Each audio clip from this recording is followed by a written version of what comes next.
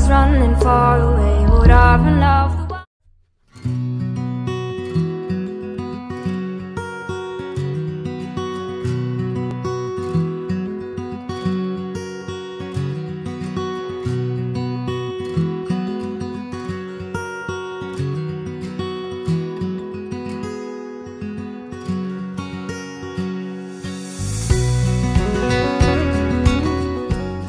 Nobody knows,